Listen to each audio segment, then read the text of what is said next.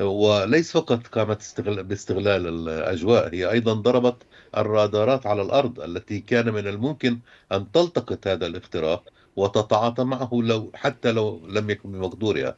ولكن إسرائيل تعاطت مع هذا الموضوع على أن هنالك خطر أن يتم إطلاق صواريخ من العراق أو من إيران باتجاهها لأن هذه الرادارات مربوطة أيضا بالرادارات الإيرانية. فهكذا فعلت في سوريا وهكذا فعلت في العراق. وشلت الرادارات في المنطقة في الأرض. ولهذا تصرفت عمليا بانتهاك يعني أستاذ نظير الرادارات العراقية مربوطة بالرادارات الإيرانية كيف هذا؟ يقال أن هنالك في رادارات في سوريا. وفي العراق أنا أتحدث عن ما يتم تسريبه من المؤسسات الإسرائيلية للصحافة الإسرائيلية. م. وأيضا في الغرب نشر قسم من هذه المعلومات يتحدثون عن أن هنالك رادارات تخدم أيضا إيران. وإسرائيل قامت بشلها حتى لا تقوم إيران بالتقاطها لأن عمليا الطائرات الإسرائيلية التي نفذت الهجوم على إيران لم تستخدم الأراضي الإيرانية. ضربت من بعيد.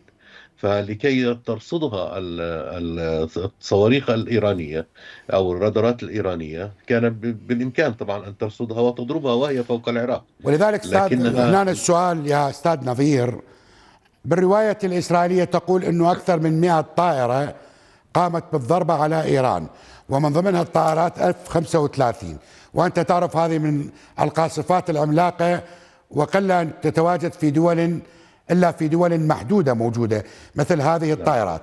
إيران تقول هذه الطائرات لم تدخل الأجواء الإيرانية.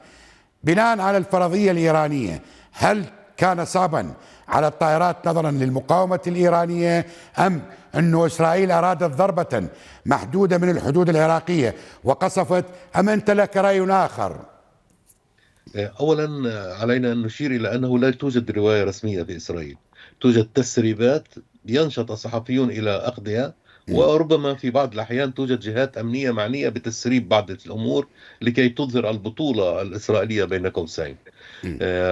ثانيا أف 35 أف 15 وأف 16 هذه الطائرات التي استخدمت إضافة إلى طائرات مسيرة. الطائرات المسيرة بإمكانها أن تخترق الحدود الإيرانية من دون أي مشكلة وهذا يعني لا تحتاج إلى إذن وفي حالة كهذه آه، أيضا صعب أن تلتقطها رادارات عموما.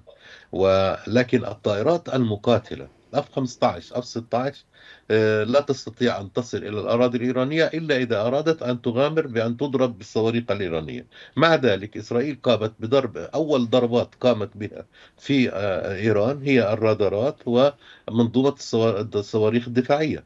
ضربت كلاهما لكي لا يستطيع أن يضربها هي هم يعني المنظومة الإيرانية إذا فعل إذا عملت كما هو طبيعي وبهني تستطيع أن تسقط طائرة إسرائيلية فوق الأجواء العراقية طالما هي تعتدي على الأراضي الإيرانية. يعني الطائرات لم تعتدي على الأراضي الإيرانية لكن الصواريخ اعتدت اخترقت الحدود الإيرانية يعني ولكن من من العراق أو من سوريا. فهذا هو التوجه العام الذي كان وهذا يفعلونه اولا بإذن من الولايات المتحدة ولكن ثانيا لأنهم نعم. اعتبروها جبهة من الجبهات التي تحارب إسرائيل.